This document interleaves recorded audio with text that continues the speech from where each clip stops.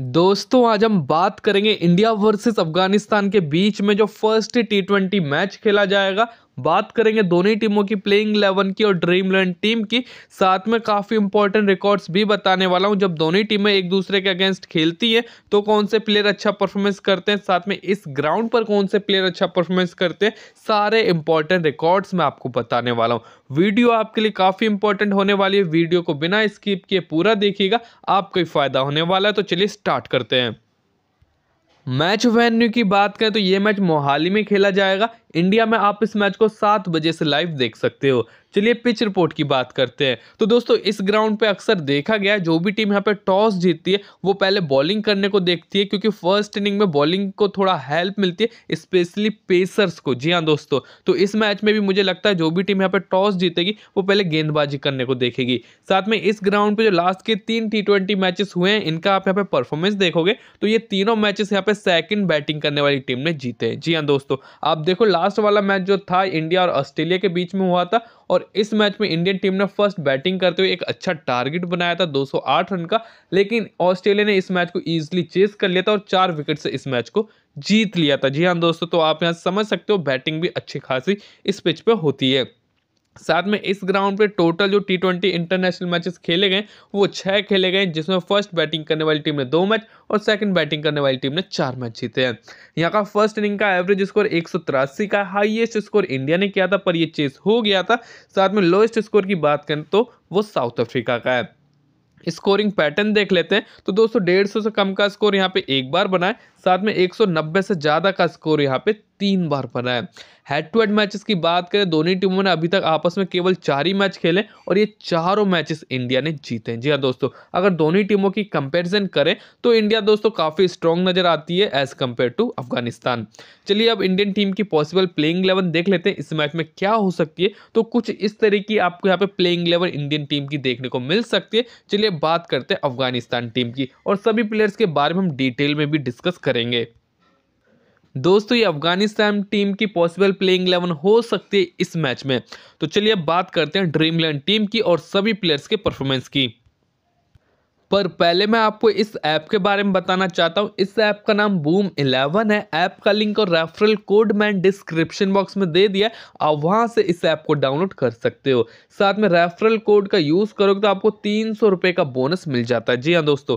इसके अलावा दोस्तों, यहाँ पे आपको एक मिनट एक्स्ट्रा मिलता है टीम एडिट करने के लिए। साथ ही में दोस्तों, यहाँ पे आपको जीएसटी और टी पे आपको यहाँ पे नहीं करना पड़ता है। और दोस्तों, यहाँ पे इंस्टेंट विड्रॉल भी आपको यहाँ पे मिल जाता है। काफ़ी अच्छा ऐप है, एक बार आप ट्राई करके देख सकते हैं, क्योंकि जो यहाँ पे कंपटीशन है, वो ना के बराबर है, जिसकी वजह से आप यहाँ पे ईजिली विन कर सकते हो। और बिग बैश लीग के सभी मैचेस में आपको यहाँ पे फ्री गिवे मिल जाता है, जिसको आप बिल्कुल फ्री में ज्वाइन कर सकते हो। दोस्तों, जिन लोगों ने चैनल को सब्सक्राइब नहीं किया है तो दोस्तों, चैनल को भी सब्सक्राइब कर लेना। साथ में बेल आइकन को प्रेस नहीं किया तो बेल आइकन को भी प्रेस कर लेना। इससे ये होगा, जो भी हमारी वीडियो आएगी, वो आपके पास पहले पहुँच जाएगी। विकेट कीपर सेक्शन की बात करें, आपके पास यहाँ पे दो ऑप्शन है गुरबाज और संजू सैमसन की। दोनों में डिफरेंस देख लेते हैं।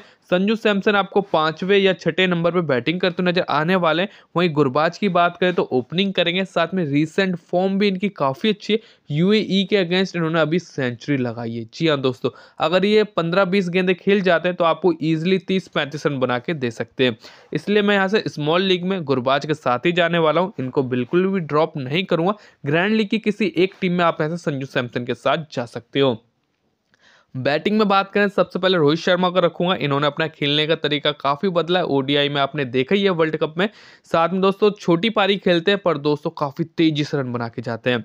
फिर मैं यहाँ से विराट कोहली को रखने वाला हूँ, दोस्तों, जो कि लगभग हर मैच में स्कोर करके जाते हैं। फिर मैं यहाँ से शुभमन गिल के साथ जाऊँगा, जो कि रोहित शर्मा के साथ ओपनिंग करेंगे। सामने वाली टीम जो है, दोस्तों, इंडिया के अगेंस्ट बात करें तो काफ़ी कमज़ोर है, इसलिए मैं यहाँ से शुभमन गिल के साथ जाने वाला हूँ। फिर दोस्तों, रिंकू सिंह की बात करें, इनका बैटिंग ऑर्डर काफ़ी नीचे हो सकता है, इस मैच में बैटिंग भी ना आए तो इनको ड्रॉप करके चलूँगा, ग्रैंड लीग में आप ट्राई कर सकते हो। हजमतुल्ला जजई की बात करें रीसेंट फॉर्म कुछ खास नहीं चल रही है। सिंगल डिजिट के स्कोर के अंदर आउट हो रहे हैं तो यहाँ से मैं इनको ड्रॉप करके चलने वाला हूँ। जयसवाल, मुझे नहीं लगता इस मैच में इनको मौका मिलेगा तो यहाँ से ड्रॉप ही करूँगा। फिर गाइस मैं यहाँ से आई जदरान को पिक करने वाला हूँ, जो कि टीम की कैप्टनसी करते हैं। साथ में दोस्तों, रुक के बैटिंग करते हैं तो एक बड़ा स्कोर ये बना के जा सकते हैं। तो यहाँ से मैं आई जदरान के साथ जाने वाला हूँ। ऑप्शंस की तरफ़ चलते हैं। नीचे आपके पास दो ऑप्शन है, तिलक वर्मा, जो कि आपको चौथे नंबर पर बैटिंग करते नज़र आएँगे। साथ में नजबुल्ला जदरान की ऑप्शन है। दोनों ही सेफ़ ऑप्शन है, दोनों में से किसी को भी ट्राई कर सकते हो। चलिए ऑलराउंडर सेक्शन में चलते हैं। तो सबसे पहले मैं यहाँ से नबी को पिक करूँगा, जो कि बैटिंग और बॉलिंग दोनों से हमको पॉइंट्स देके जाएँगे और बैटिंग भी आएगी इस मैच में। फिर दोस्तों, यहाँ पे बात कर ले तो मैं यहाँ से अजमतुल्ला को पिक करूँगा। जी हाँ दोस्तों, इनकी बात करें तो ये चौथे या पाँचवें नंबर पे आपको बैटिंग करते नज़र आएँगे, साथ में अपने बॉलिंग के चार ओवर पूरे करने वाले जी हाँ दोस्तों ग्रैंड लीग में आप इनको एज अ कैप्टन के तौर पर भी ट्राई कर सकते हो। ऑप्शंस की तरफ़ चलते हैं तो अक्षर पटेल की एक अच्छी ऑप्शन है। इनको ट्राई कर सकते हो। एज अ बॉलर के ही तौर पे लीजिएगा, क्योंकि बैटिंग आना मुश्किल रहने वाली है। साथ में नीचे देखोगे तो यहाँ पे कोई सेफ़ ऑप्शन आपके पास नहीं है तो इनमें से आपको किसी को भी ट्राई नहीं करना है। चलिए बॉलिंग सेक्शन में चलते हैं। तो सबसे पहले मैं यहाँ से राशिद खान को पिक करूँगा। दोस्तों बैटिंग आने पर अच्छे खासे हिट भी लगा देते हैं और बॉलिंग में भी मुझे लगता है एक दो विकेटें इस मैच में भी ये निकाल के दे देंगे। इसके अलावा मैं यहाँ से कुलदीप यादव को पिक करने वाला हूँ। फिर मैं यहाँ से अर्शदीप सिंह को करूँगा, जो कि दोस्तों शुरू में भी पावर प्ले में भी गेंदबाजी करेंगे और डेथ ओवर में भी गेंदबाजी करेंगे, जिसकी वजह से इनके पास जो चांसेस रहते हैं विकेट लेने के काफ़ी ज़्यादा हाई रहते हैं और इस मैच में दो तीन विकेट ईजिली निकाल सकते हैं। आप इनको भी ट्राई कर सकते हो ग्रैंड लीग में कैप्टन या वाइस कैप्टन के तौर पर फिर गाइस मैं यहाँ से मुजीबुर रहमान को ट्राई करूँगा।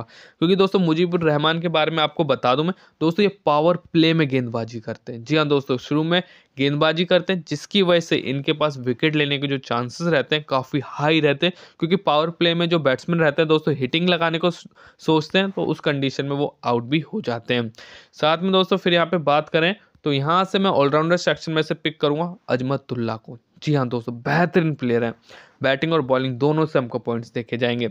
चलिए ऑप्शंस की तरफ़ चलते हैं। ऑप्शन क्या क्या है आपके पास? सबसे पहले जो ऑप्शन है, नवीन उल हक की है। इनको ट्राई कर सकते हो। क्यू अहमद की है। ये भी एक ठीक ठाक ऑप्शन है। नूर अहमद की बात करें दोस्तों, अच्छे प्लेयर हैं। यूएई के अगेंस्ट काफ़ी अच्छी गेंदबाजी करी थी विकटें भी निकाले थे तो इनको भी ट्राई कर सकते हो। एक लास्ट ऑप्शन आपके पास इसमें फरूकी की है। तो इनके बारे में बता दूँ दोस्तों, ये डेथ ओवर में भी गेंदबाजी करते हैं विकेट लेने के चांसेस इनके पास भी रहते हैं।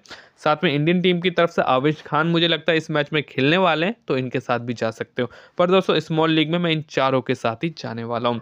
चलिए अब कैप्टन और वाइस कैप्टन देख लेते हैं। तो दोस्तों, पहले प्रीव्यू देख लेते हैं टीम का। तो कुछ इस तरह का आप प्रीव्यू देख सकते हैं। विकेट कीपिंग सेक्शन में गुरबाज रहेंगे। बैटिंग में बात करें तो यहाँ से रोहित शर्मा हैंगे विराट कोहली, शुभमन गिल, जदरान को लिया है।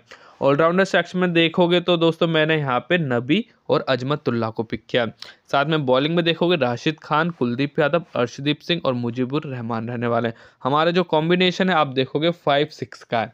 चलिए अब कैप्टन और वाइस कैप्टन देख लेते हैं। तो यहाँ पे कैप्टन की बात करें तो मैं यहाँ से विराट कोहली को कैप्टनसी देने वाला हूँ और वाइस कैप्टनसी में यहाँ पे रोहित शर्मा को देने वाला हूँ। साथ में कैप ऑप्शंस की बात कर लें तो अजमतुल्ला की एक अच्छी ऑप्शन है, इनको ट्राई कर सकते हो। साथ में दो और अच्छी ऑप्शन है आपके पास यहाँ पे, राशिद खान और अर्शदीप सिंह। इनमें से किसी को भी आप यहाँ पर ट्राई कर सकते हो।